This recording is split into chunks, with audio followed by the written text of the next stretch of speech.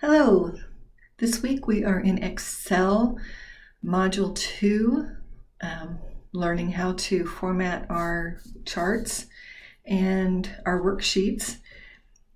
This week a lot of what we do is similar to what we did last week, however we will be adding some conditional formatting and uh, making a few changes like that.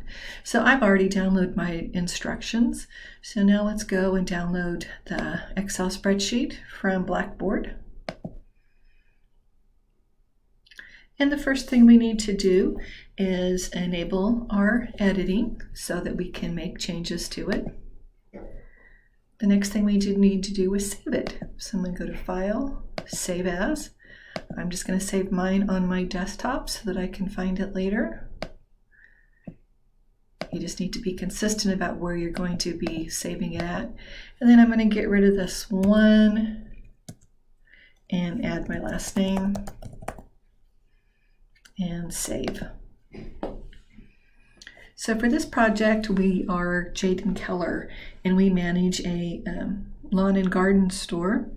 And we have an Excel spreadsheet to try to solve a problem of one of our stores that has too much or too little stock on hand.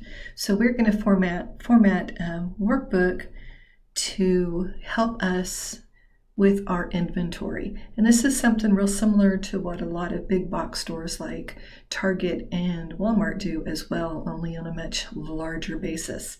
So we are going to go to our inventory worksheet. So down here at the bottom, we have our documentation and we have inventory. We're going to go to the inventory worksheet. You can see it here. And the first thing we need to do is we want to make our A1 heading 4 style. So we're going to make A1 our active cell.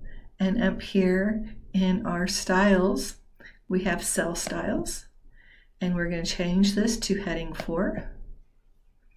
And then it wants us to merge and center a1 to F1. So we're going to make click on A1, drag down to F1. So we have that range selected.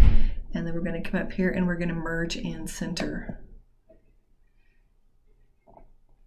We're going to use AutoFit to resize column A. So remember, um, we want to make sure that this is all, we can read all of our text. So we're going to take our mouse bump between A and B until it changes shape and then double click. And it's going to make, for mine, it just changes it a little bit. Yours might be a little bit more. Now we're going to go to A3 to F3. So we need to select the range A3 to F3. So I'm going to click in A3. Then I'm going to hold down with my left mouse key and drag over to F3 to select that range, A3 to F3 and we want to shade it green accent one lighter 60%. So to make sure it stays selected. Then up here in our fonts, we have our shading, our fill color. So we're coming here, we're gonna go to green accent one, and we're gonna go lighter 60%. We just want to make sure that stands out a little bit from the rest of our worksheet. So we going to use our format painter. We like the way this is green, white, green, white here, and we want to make 13 with the green as well. So we're going to highlight A11 through F11 to select that range. And we're going to come up to our format painter up here on our home tab, select that. And now we're going to select a 13 to F13. Make sure you don't select the whole row. Uh, if you select the number, then you're going to be selecting the entire row. And we don't want that. You want just A13 to F13 to be highlighted there. We want to make our plant names stand out from the rest of our data, so we need to italicize them.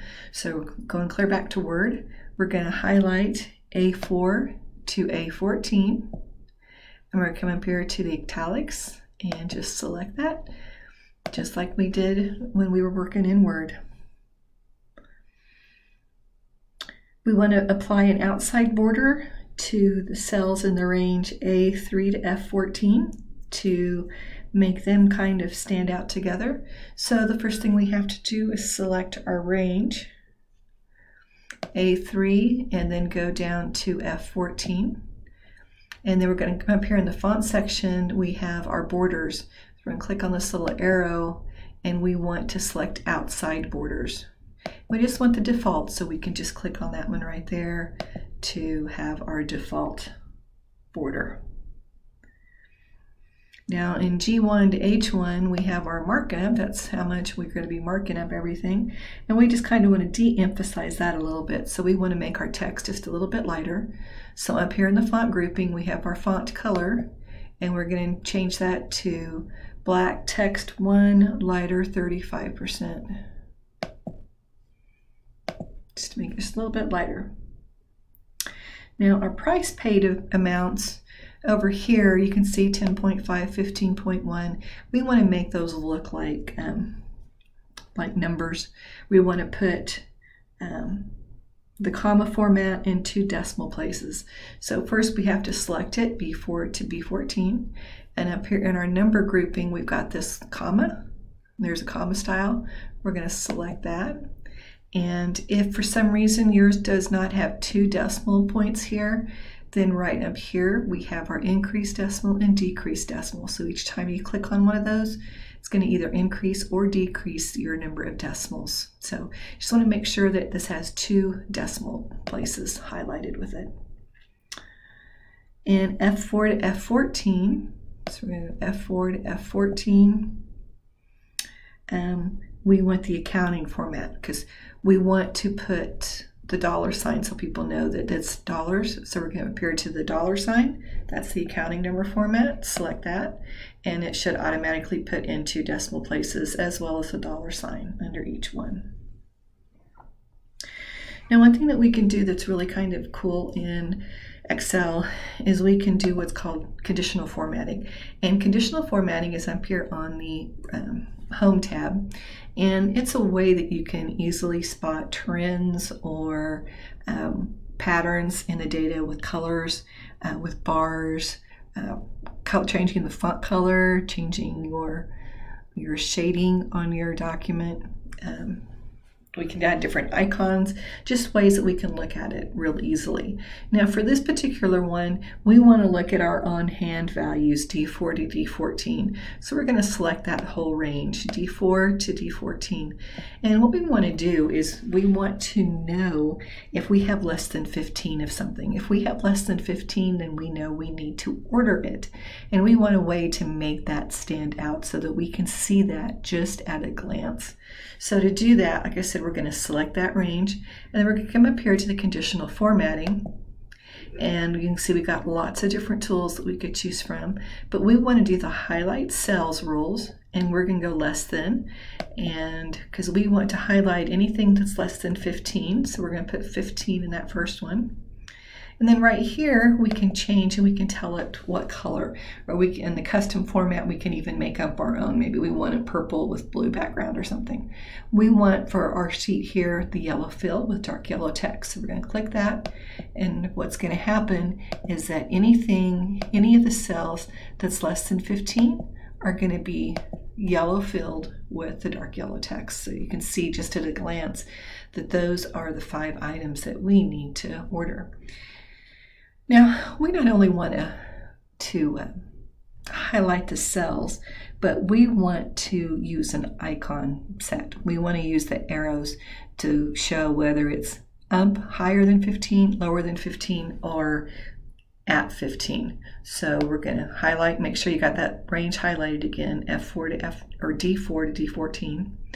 Up here in the conditional formatting, going to go to the icon sets and we want the directional icon sets. And what that's going to do is it's going to automatically put those arrows in there.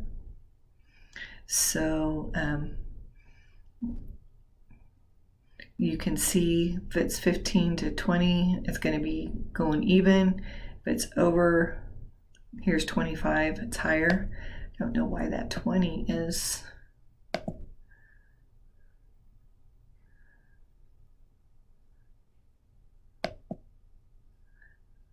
less than 15. Okay. Oh, messed it up completely, didn't I? Let me just go back. At 20, it's going to, I guess it goes by, by fives. At 20 or low, 20 to 15, it's going to show that it's even. Anything higher than 20, you're going to have your upper arrow, and then anything lower, you're going to have the down arrow. So you can see right away, these are the things that we need to order. So now we're going to come up here and make A1 our active cell because we want to look at our spelling. So we're going to go up here to the review tab and then spelling. And you can see this first one, it's vowel. That's not right. We want value, V-A-L-U-E. We're going to say change. And we're good to go. So now we're going to save it and then submit it in Blackboard for grading.